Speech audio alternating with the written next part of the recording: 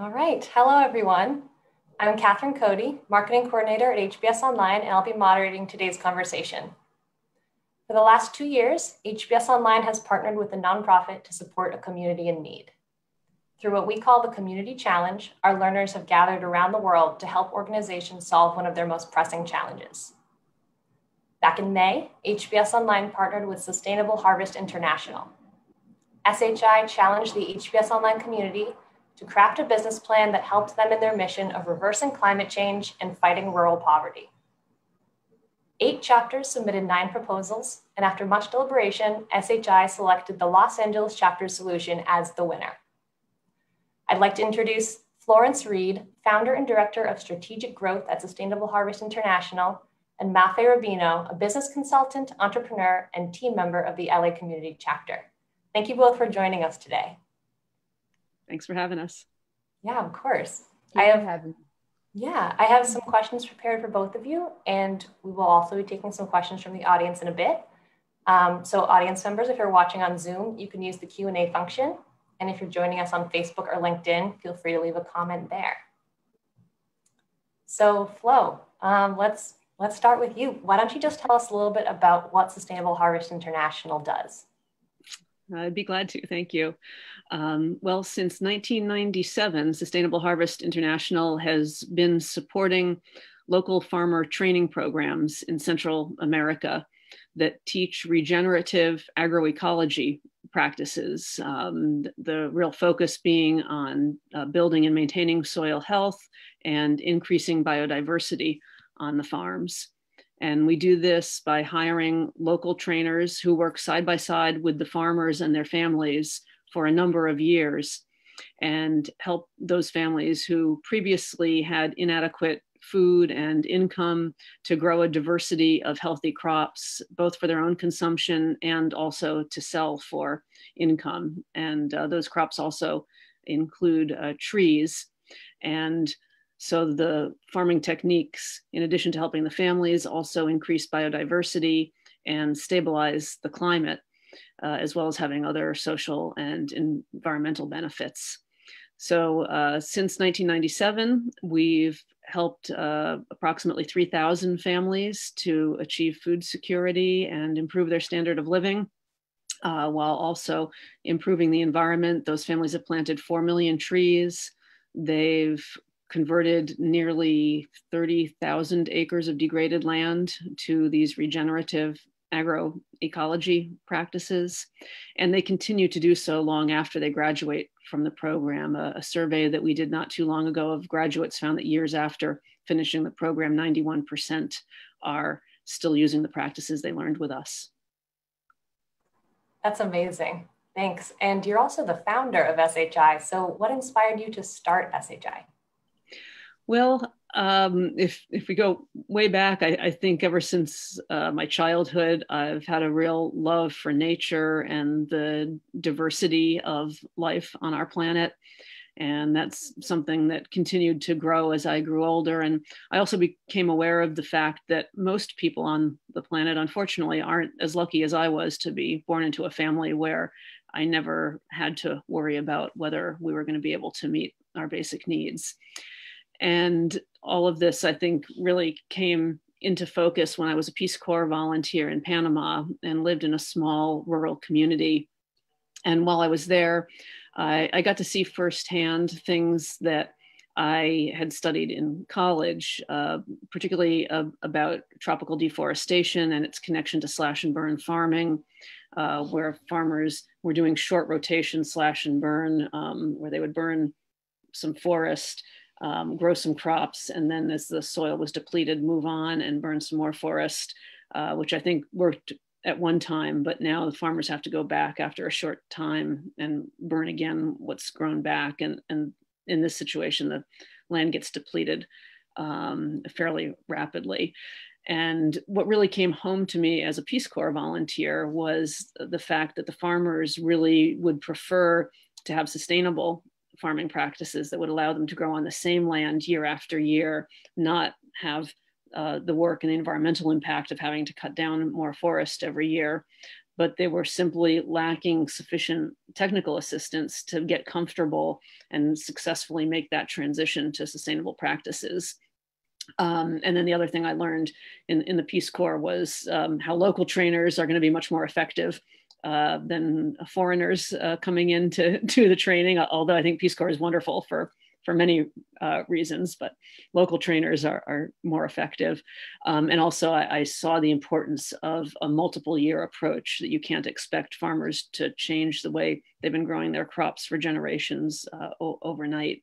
So, all of that led me to, to see um, this need and, and eventually to be shocked to find there was no organization that was focusing on providing that kind of technical assistance to the farmers.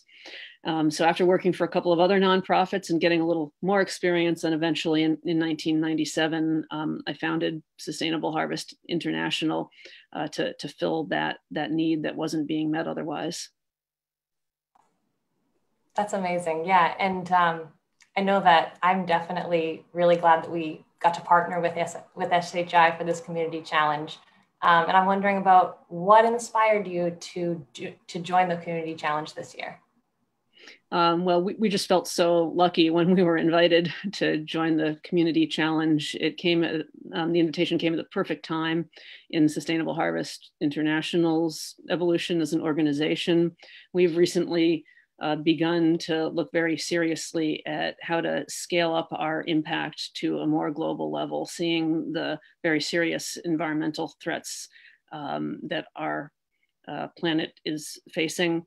We felt like we needed to do more, and part of uh, our multi pronged approach to scaling up is to look at how we can bring down the net cost of providing the technical assistance to the farmers. And part of what that uh, we think sh should look like is having an earned income component. So having a business uh, attached to our training program that ideally will um, both help the farmers, but also generate income for our nonprofit and offset the, the costs of uh, providing that training. Um, but at Sustainable Harvest International, um, we are, for the most part, uh, not uh, business people. Um, thankfully, we have some on our board of directors, but uh, we do not, that's not really our, our wheelhouse. And so we saw that we needed help from people with uh, good business training and business background to help us look at, at how to bring this business component into our scaling up plans. And Harvard Business School online um, clearly has a large pool of, of alumni who uh, have that uh, excellent business education and uh, has have the experience and they could bring their minds to work on on this issue that we're addressing of how to bring the business component into SHI's scaling up plans. And um, we we were uh, thrilled with the diversity of uh, perspectives that we could get from all of Harvard Business School's online uh, global chapters around the world and, and all the experience that, that they brought to this challenge. That's fantastic. And also a nice segue into saying hi to Mafe. How are you?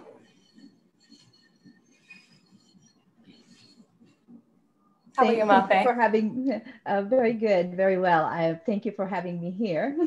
Yeah, of course. Thanks for joining us. Um, now, why did you become involved with the HBS Online community?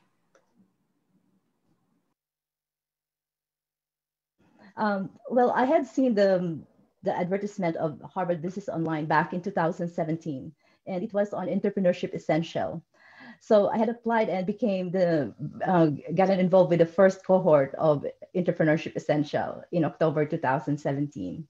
Um, and um, since then um, i get close with some of the um, people in my cohort and to this day we're still uh, communicating even though we have not seen each other face to face and uh, however in the last couple of years i had attended uh, Connects, which is the gathering for HBS Online. So I had met other people from other uh, courses other alumni and uh, we had formed other communities and get involved with other communities as well. And so what a great uh, way to actually being uh, connected and uh, being involved too.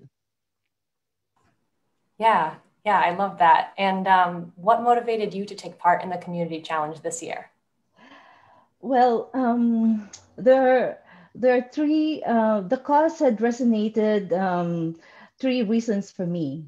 One, um, I am a granddaughter of a farmer from the Philippines and uh, had been in the farm when it's school break. Um, it's, uh, it's my cousins and uh, uh, and some of my friends uh, think for us to look forward and get to the farm and catch some snails and all this and uh, climb trees. So um, it, it, was back in the days. it brings back memories. And um, uh, I'm also um, uh, because I'm a because I'm a vegetarian. regenerative farm, farming becomes more meaningful to me uh, since I became that. Uh, the source of food that nourish our body became becomes very important when, uh, of course, uh, time in the beginning there's already um, uh, organic farming and all this when some of the fertilizers were not introduced.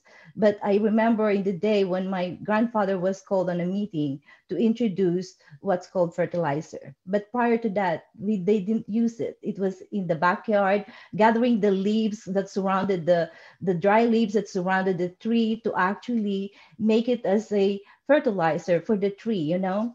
And the, so, some of the things that, that we actually didn't realize is that there is this inherent wisdom in the farm from the farmers that some of the people doesn't really know. And uh, I would sometimes wonder how can we include that when people are collecting data? How can we include that wisdom that actually come from these people? you know, because it cannot just be um, a lot of data has been collected, but how can we capture that, that, that wisdom from the farm? And the, the third thing is um, the reversing the effects of climate change. Whether we believe it or not, some of the things have actually changed in our environment. One is when, when farmers can actually tell when to plant, when to harvest, and when to to, to do this next cycle, some of these things are disrupted. The, the weather had changed. And so how can they cope up with this when the weathers are uh, changed and there is no rain? So even if we don't call it climate change, what would the, what we, we call it something else, but something actually had changed and something is threatening the way we could actually produce our food. So this is just something, you know, that we have to be aware of. Definitely, yeah, and I'm so glad that that connects back to your um, to your grandparents, like you were talking about. That is very meaningful. Um, mm. Flo, what what kind of response did you receive from the HBS online community? Um, really, we were overwhelmed um, with the response that we received. Um, not not just that there were nine proposals from uh, eight chapters, but but the quality and um, the diversity of the responses that we got, um, you know, everything uh, from uh, ideas about using technology in a different way to uh, new marketing ideas. Uh, the Sao Paulo chapter um, had some great ideas about a trade fair uh, which was something we hadn't thought about before, but uh, we, we, can certainly see the, the potential of.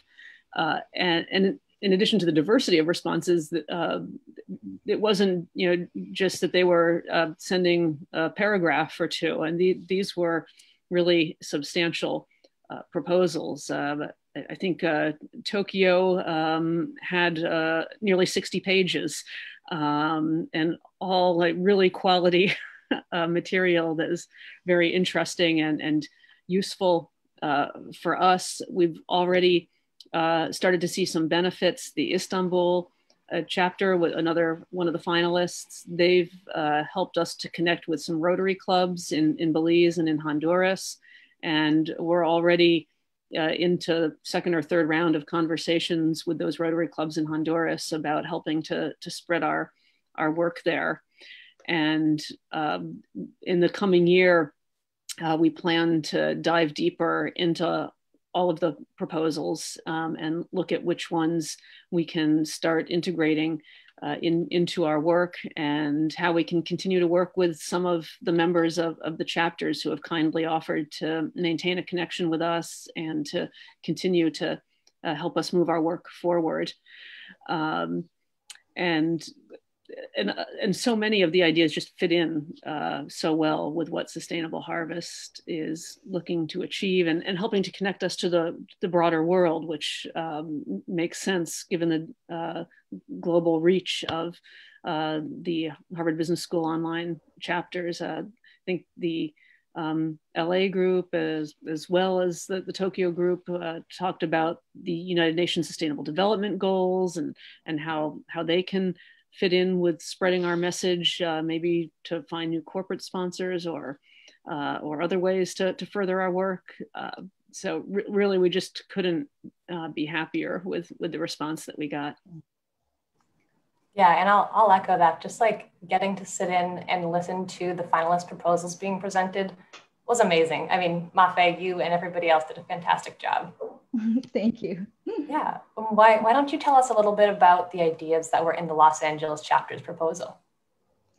Um, well, in, the, in creating our proposal, there were three, um, three major um, things that were um, three major points that uh, HSI had uh, given us during this challenge. One is the marketing and selling of products, the uh, selling of appropriate uh, services, tools, and equipment to the farmers, and the identification of larger institutions that um, in the area that will be able to in um, to uh, strike interest and um, uh, help with the agricultural production and training for small farmers.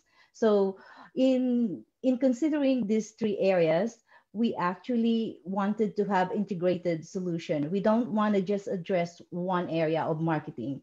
We incorporated, uh, so we divided our team into groups and we all address each of the three um, areas.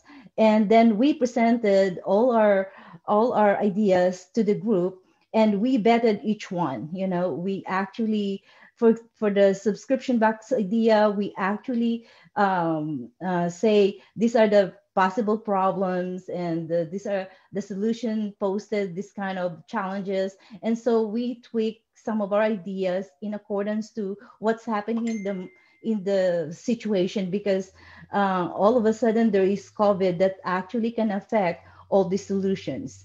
And so we have to consider all those as well. And because of the of the uh, pandemic, it, the subscription box uh, solution actually presented a new opportunity because people cannot go to market and del- having their food delivered to their homes is another uh, great solution.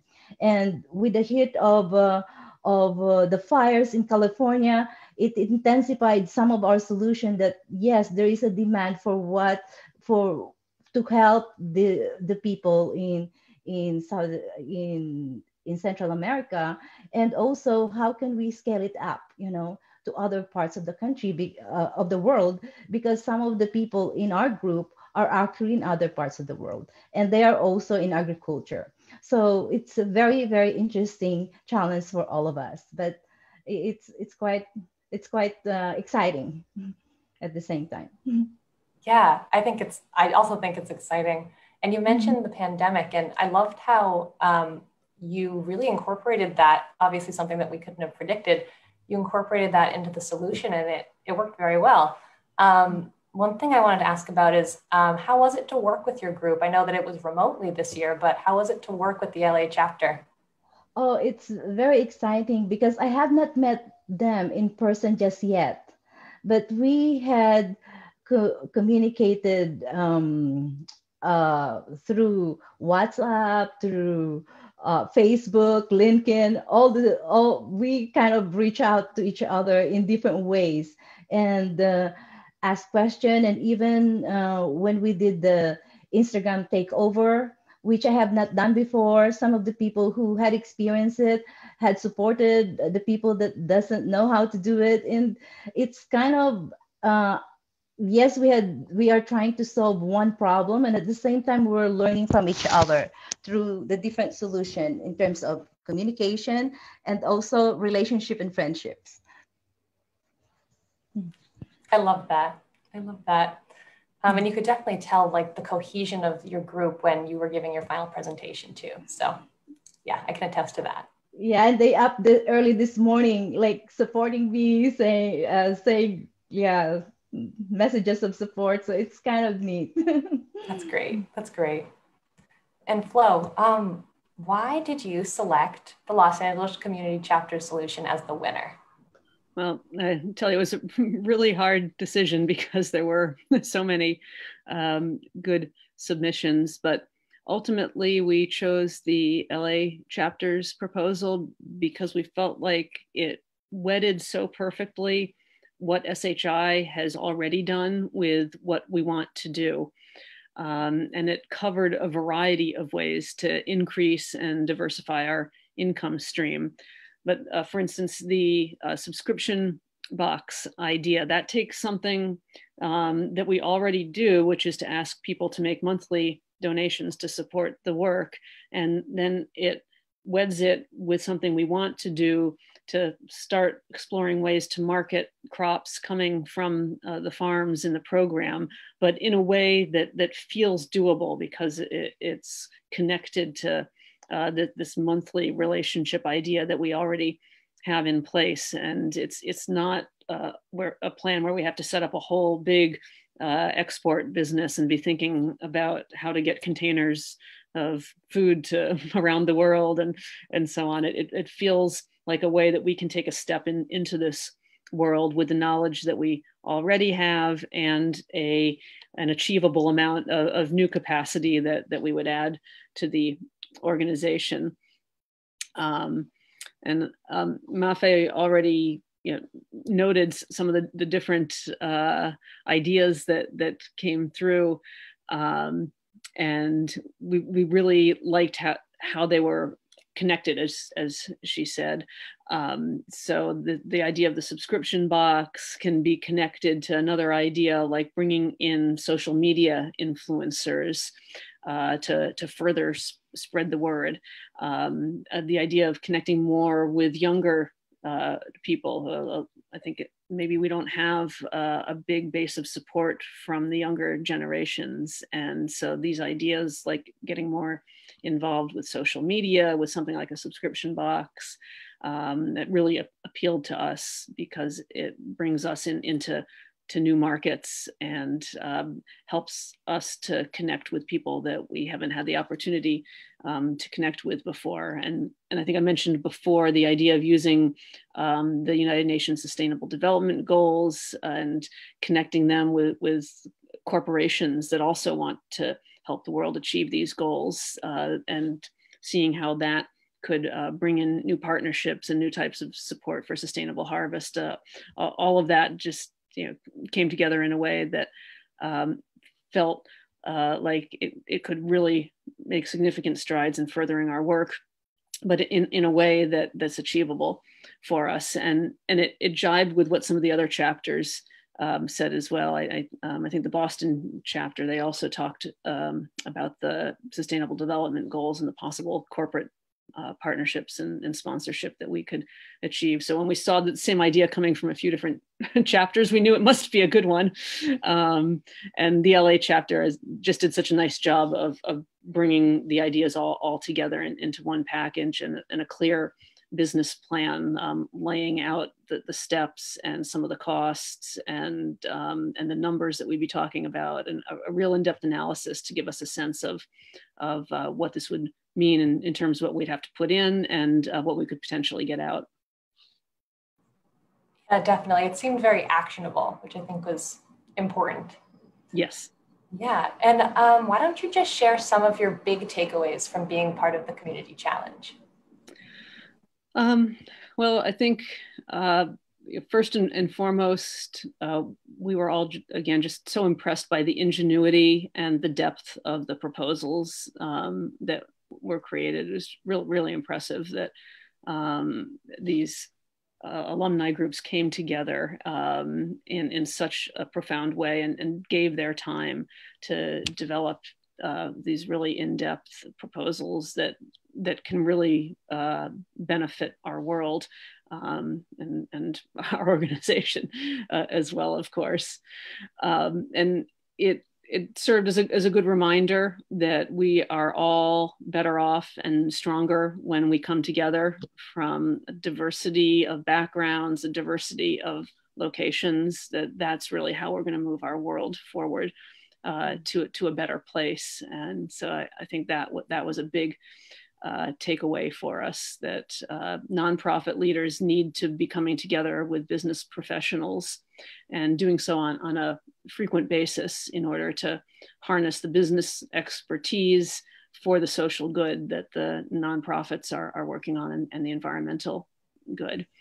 And I guess um, the, the last takeaway for me was um, on a sort of internal basis was just um, the, the need for us as an organization to grow um, our capacity just to be able to uh, take advantage of some of these wonderful ideas that clearly present a big opportunity for us. Um, and thinking about our small staff, um, it, it, becomes clear that we really need to uh, build our capacity a bit more just to successfully embrace these wonderful ideas that have been presented to us by the LA chapters and, and the other chapters.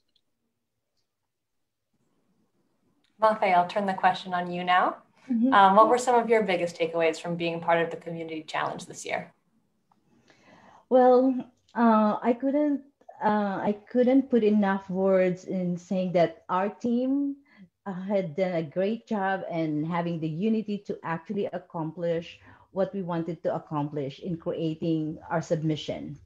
Um, and not only that is uh, to be able to also enlist other people to support us even outside harvard business online um, in in furthering the cause um, because and to clearly express to them what this cause me- meant for not just for central america but actually it can affect the whole world when we when we address uh, and give solution to one part of the world uh, in terms of climate change, it actually affect the whole world.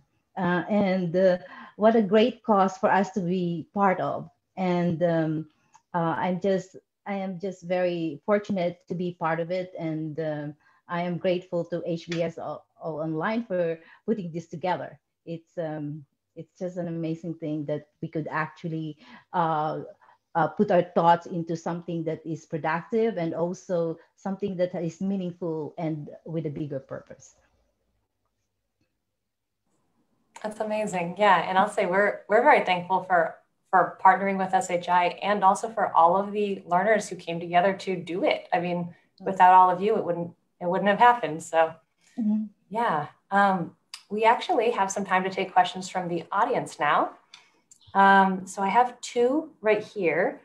Uh, the first one is how does SHI plan to expand the reach of their programs outside of the countries they currently work in? So Flo, this is for you. Okay. Um, well, uh, this is uh, a big part of our scaling up plans. As I mentioned, we're looking at how to have a more global impact. And uh, key to that, we're quite certain, is going to be partnerships, um, partnering with other organizations, um, with businesses, uh, maybe with government agencies to work with us to get the methodology we've developed over the last 23 years out to uh, a much larger number of, of farmers. And uh, in doing that, we'll be assessing where we feel we can have the greatest impact on improving standards of living, um, on improving the environment, and uh, and then where we can find the right partners and uh, and the funding to, to do the work. So all of those uh, will be factors that we take into consideration, uh, as well as as logistics. Um, up to this point, we've only worked in Central America, so it, that's what we we know uh, best. So I think we'll start out looking at how much more can we do in Central America, um, and then once we uh, feel we have the answer to that question, uh, then we'll start to expand our circle out and look further uh, into Latin America and the Caribbean, and eventually maybe uh, Africa and, and Asia as well, because uh, we, we feel really strongly that the basic tenets of our program can be um, adopted uh, or and adapted to really at least anywhere in, in the global south in, in, in the tropics. That's great. Um, and the next question is, how is SHI responding and adapting to the global pandemic? Uh, um, well, um, I guess we're, we're lucky in that our headquarters was a virtual uh, headquarters before the pandemic. Um, so obviously, we've uh, not been doing the traveling that we might have done be- before February, um, but we're able to, to keep uh, most of the work at the headquarters going as usual. Uh, the country programs have been affected more. Of course, they weren't able for periods of time to be able to have the trainers go out to the communities uh, where we work be, because of restrictions within the country and, and because, of course, we would want our staff to, to stay safe.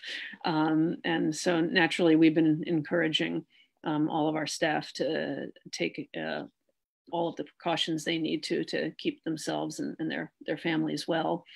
Um, that said, uh, they have been able to get back out to the communities again, which we're grateful for. And so they're doing that with the appropriate distancing and, and the mask wearing and, and all of that. Um, during the times that they weren't able to go out and uh, visit the farms directly, uh, we, we did learn just how much communication was possible through things like cell phones. Um, it, it, varied in, in the different countries. I, I think in um, found that in one of the countries, maybe 80% of the families in the program had access to a cell phone, which we hadn't realized. In another country, it was more like 50%, another it was more like 20%. So there was some real variety, but such as it was, um, our local staff were able to learn how to communicate more by those means. And um, we also were really just bolstered, and our, our commitment to this work was um, even deepened even further by the communications that were initiated by farmers who were in the program, who sent messages, who sent photos, um, and at least one case even sent a video sharing how important their work with the Sustainable Harvest Program had been to them during the pandemic at a time uh, when their neighbors couldn't get to the market to buy food, uh, couldn't buy uh, fertilizers or things to grow their crops. They showed us how they were continuing to grow this rich diversity of food to feed themselves well and even help feed their neighbors because of what they had learned through our program. They'd learned to use resources that they had right there on their land uh, to grow this diversity of food and were able uh, to, to keep doing so despite the pandemic. And um, so getting those messages and uh, seeing uh, particularly the video I'm thinking of from a man named Cirillo in, in Honduras, uh, was very inspiring to us to keep doing everything we can uh, to further our work and expand our reach to more farmers. That's amazing. Um, and I'm really glad that you shared about that video too. I think that like, like that personal touch is like, it's always so meaningful. Yes, and uh, we, we have the video out there somewhere, and I'm hoping one of my colleagues will be chatting or uh, uh, helping people to find uh, the, the video on YouTube, I believe it is. Perfect. Um, and Flo, I'd just like to ask uh, what's in store for the future of Sustainable Harvest International? Uh, well, um, so I guess I touched on it a, a little bit already, but as I, I, mentioned, we're working on plans for scaling up and uh, we're taking a three pronged approach to this. Um, so, first, we're looking at continuing to strengthen and expand our well established programs in Honduras, Panama, and Belize. Then, at the same time, uh, as we expand those. We'll be using some of that expansion uh, as an opportunity to test new innovations uh, to the work, which is what the Harvard Business School online community has contributed to, helping us think about what those innovations might be that will bring down the net cost of our program. And in that way, make it more scalable and make it easier to reach um, many more farmers uh, more quickly, which we, we feel is, is critical given the short time frame uh, that we feel we have to turn around the environmental situation for, for humanity. Um, and then as I mentioned before, again, partnerships are gonna be key to this. Um, we've set uh, a really big, um, audacious goal um, with a vision to impact a million farms by 2030 in line with the United Nations Sustainable Development Goals. And this would achieve food security and food sovereignty for 5 million people. And it would re reverse degradation on 8 million acres of land, um, as well as all the connected benefits of stabilizing the climate and um, increasing biodiversity. Uh, but we know that we're not, not going to reach a goal like that on our own, that it's uh, going to be through partnerships. And this is, again, an area where we see that Harvard Business School online community has already helped us to start to make some of those connections. And, and we think going forward could help us um, with, with more of those connections. And even though that, that million farm goal is, is a big and audacious one for a small organization uh, like ours, uh, personally, I, I don't feel like that's the end game either. Uh, those million farms, I hope, will help to set the example to achieve a paradigm shift for all 500 million of the world's smallholder farmers who can benefit from this kind of technical assistance and making this transition to regenerative agroecology practices. And if, if all 500 million of those smallholder farmers are able uh, to make that transition, they will be drawing down carbon out of the atmosphere and putting it back into the soil and into the, the growing um, plants like the trees, um, which will signify 200 billion tons of carbon being drawn down out of the atmosphere back onto these farms each year. And if you wed that with reductions in carbon emissions, um, it's i think it's really the only way but it is a way that we can get back to pre-industrial levels of carbon in the atmosphere and um, and get ourselves a healthy planet that will continue to support humanity and and allow us to thrive. So that that's what we're aiming for. Um, we obviously are aware that we need to take it in um, small steps and some very thoughtful steps um, and so again, this is where some of the pieces we've worked on with Harvard Business School online community will come into place, like increasing and diversifying our income streams um, and bringing in some of these ideas that were, were given to us by the Harvard Business School online challenge. And um, and then also I, I, mentioned just to be able to embrace these ideas, uh, we need to build out our capacity, build out um, our headquarters staff a little bit to really take full advantage of these ideas. So um, part of our next step is doing some more fundraising. Um, we have a goal over the next couple of years to increase um, our funding by about $600,000 that will allow us to take these next key steps and then really launch into that big scaling up towards the 1 million farm goal to eventually um, set an example to, for the 500 million smallholder farmers around the world. So that's that's what we're focused on now. wow, that's amazing, and it's really empowering to hear you speak about that. Um, and I think um, just if I'm speaking on behalf of anyone listening, um, how can people learn more about SHI? Um, well, we have um, a website, of course, which is uh, sustainableharvest.org. And uh, we're also active on uh, all of the, the, social media on Facebook, Instagram, LinkedIn, Twitter. Um, and I believe my colleagues have put links to those um, in the chat. So um, people will um, be able to follow those. And um, I hope it's all right. I'll just uh, also mention that if people do follow any of those links, they'll see that we are doing a Giving Tuesday campaign today, which we're very excited about. Awesome. And we just actually had one more question come in. Um, if you're, if, yeah, we have a couple minutes. Uh, if you're ready, Flo. Um, another question that just came in from the audience is, in terms of soil depletion control, what is your stance on land rotation? And if it's something you're considering, how would this affect production and food security for the areas and population you're currently working with?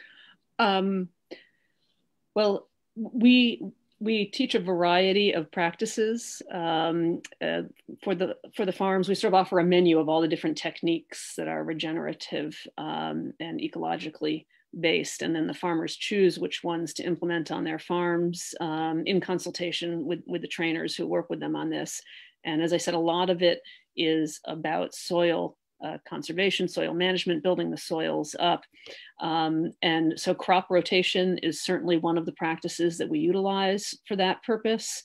Um, the term land rotation was mentioned, so I'm, I'm, not sure if the person was asking about um, rotation and fallow periods, but um, that also would be one of the techniques that we would offer to the farmers and help them think about um, especially if it's a managed fallow where uh, cover crops are incorporated in to uh, further build up the soil before uh, the other crops are, are, planted during, during another season. Um, and we also use a variety of other uh, uh, practices for the soil, different types of composting, erosion barriers, uh, whether they're live barriers or dead barriers, um, efficient microorganisms, um, um, and many other techniques as well. So I, I hope that answered the person's question. Yeah, thanks. Um, well, fantastic. I'm really, really glad to have had this conversation with both of you. Um, it's been, like I said, empowering and inspiring. And Mafé, just hearing about the LA community chapter too. Um, yeah, I cannot thank you two enough for taking the time to have this conversation today. Mm-hmm. Um, and also thank you to everyone who tuned in. I'll just let all of you know that planning for the next community challenge is already underway and we will be providing more information by the spring of 2021. If you've taken a course with HBS Online before and you were inspired by today's talk, you can join the community by visiting community.myhbx.org. That's community.myhbx.org. There are 34 community chapters right now in the HBS Online community. Um, so you can sign up for the one that's closest to where you live, or you can also join our global chapter. So Flo, Mafé, thank you so much again for joining us. I had a great conversation with you today. And to mm-hmm. everybody, happy Giving Tuesday. Thank you, everyone. Thank you, everyone. Bye. Bye.